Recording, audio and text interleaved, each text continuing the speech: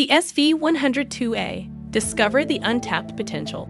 The SV102A, while not a new addition to our product line, remains a remarkably innovative Class 1 noise dosimeter that many sound professionals are yet to fully discover.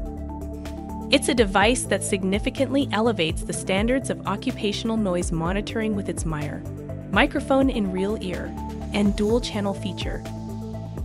The dual channel input allows simultaneous noise measurements on both sides of the head or even combines external and internal noise exposure assessments, a critical feature for workplaces with dominant directional noise sources or those requiring detailed analysis of hearing protection efficiency.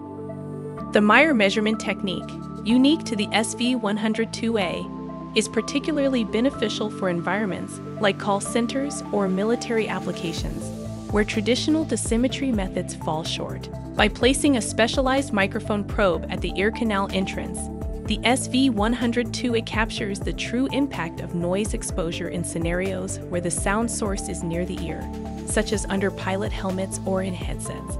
Adaptability across different settings makes it an indispensable asset for a broad range of industries and environments. SV102A has already proven itself in many applications, including as crew equipment in space missions organized by the American Space Agency.